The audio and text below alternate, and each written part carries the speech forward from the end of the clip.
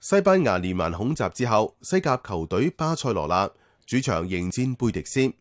賽事開始前默哀悼念恐襲遇害者。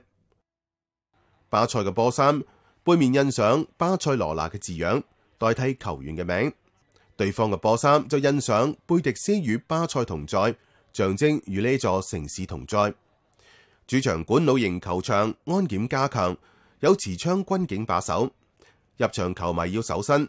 受到恐襲陰霾影響，入座率只有五成七。喺日前，兇徒揸車撞人嘅蘭布拉大道，民眾舉行燭光晚會悼念死者。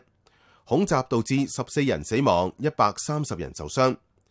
警方繼續封鎖加泰羅尼亞日前發生爆炸嘅房屋搜證，揾到兩具屍體同埋一百二十桶丁烷氣體，懷疑兇徒原本策劃炸彈襲擊。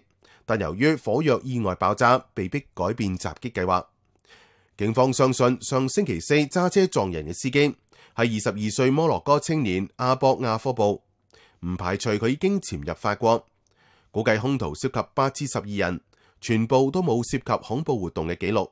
但據報佢哋喺犯案前冇幾耐去過敘利亞。香港電台記者何俊傑報道。